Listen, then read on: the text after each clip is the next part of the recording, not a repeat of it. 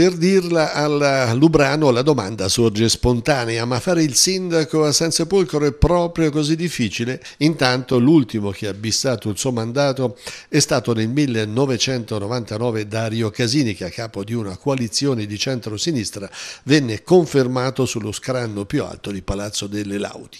Nel 2004 il successo dell'avvocato Alessio Ugolini confermò la maggioranza di centro-sinistra ma ampliò i dissidi interni che dopo due anni portarono portarono alla caduta dello stesso Ugolini con tanto di mozione di sfiducia e all'arrivo del commissario. Si torna a votare il 28 maggio del 2006 e Franco Polcri si impone con una lista civica appoggiata dai partiti di centrodestra, una vittoria che sovvertì i pronostici della vigilia.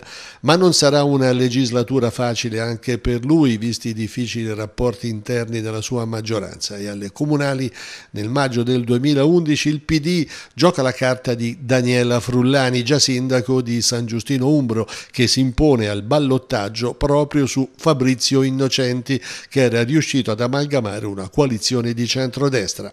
Ma anche la Frullani, nonostante l'abbraccio con Ratzinger, non venne confermata perché il 5 giugno del 2016 Mauro Cornioli vinse alla grande in maniera semi-plebiscitaria con una lista trasversale in tutti i sensi.